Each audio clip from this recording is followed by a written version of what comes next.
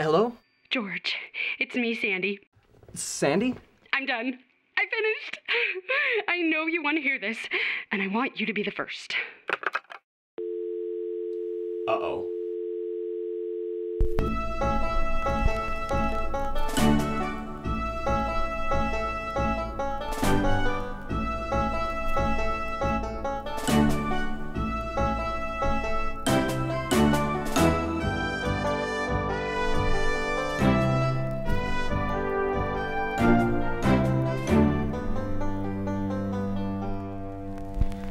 That was Sandy. She's entered another writing contest. She's always saying, George, one day the world will know me by my writing. I'll let you in on a little secret. Sandy can't write. It's all a great big pile of. a great big pile of words. However, she's a total fox. But it's more than that.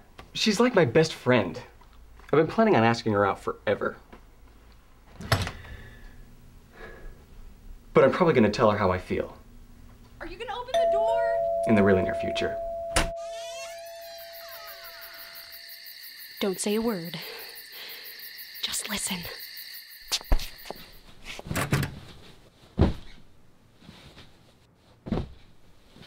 Did you get a good look at her? She looks good. I think I'll ask her out right now. Didn't happen. How can somebody who looks so good write so bad? Okay, picture this in your mind. Are you ready? Captivate me.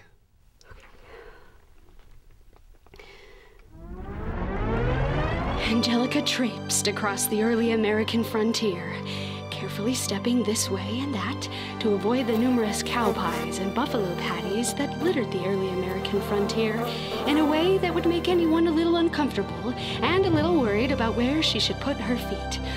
Especially seeing that Angelica had on a really terrific pair of shoes with sexy. Wait, what? What did I tell you? I know, it's off to a bad start. But she's so cute reading this story. It almost takes away the sting. It's quite romantic. Now, hear the whole thing out. It gets better. And it has a surprise ending. Ooh, let's hear that ending now. George!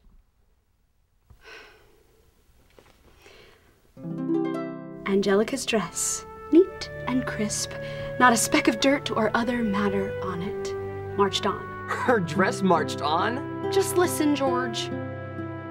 Her acrylic nails caught the glow of the setting sun. Her beautiful hair was unaffected by the huge plains winds, which we all know can blow like a tornado. Her makeup was impeccable. Her lightweight windbreaker, Windbreaker? well, an old fashioned windbreaker, of course. You can't tell me they didn't have wind back then. Are you serious? Would you like me to pick something else? A fur coat, or perhaps a knitted tunic. Or how about not? What? I mean, if it were me, I'd just You would- leave it. George, uh, the story is. Nothing. Just the dress. You can't. Oh, okay. Good idea, George. Shall we have an intermission for a little while? You know, take a little break? George. You are the funniest friend I have. Now, listen, this is important. And like I said, there's a surprise ending. On the horizon, just west of the setting sun, came a horseback rider. He leapt from the horse, his hair flying in the wind, and allowed it to run off on its own. His hair went running off on its own? No, George. The horse. It went galloping away, back into the sunset from whence it came. Excellent finish. I didn't think you could you could do it, but but at the end it all came together. Nice one. George! It's not over yet! Okay.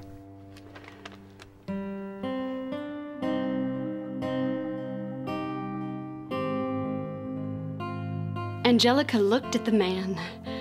The man looked at Angelica. Together they looked at one another. Looking, looking, And looking some more, she noticed that the man seemed an awful lot like her good friend. He was very attractive. Not too tall, not too blonde, not too brown eyed. Not too interesting. What? Nothing. Not too freckled. And a smile as wide as the Mississippi. That is one wide smile. You know, you're a good writer. I know. Angelica reached over and brushed off his shirt where there was a bit of Wyoming.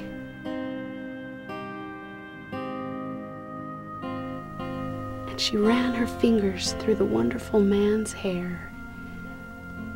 And then, even though it wasn't very ladylike, and even though girls should wait for boys to ask them out, and even though this was the early American frontier,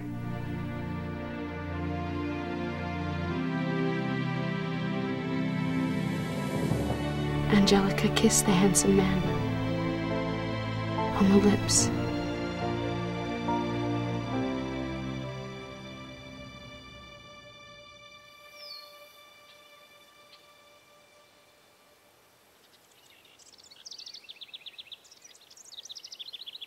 The story was about us. There was never Angelica and that other guy.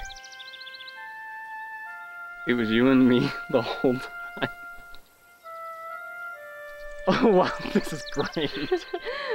So you like my story? No.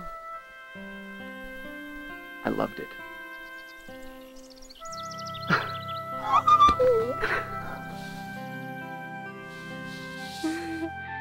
In the story, we're more than just friends, right?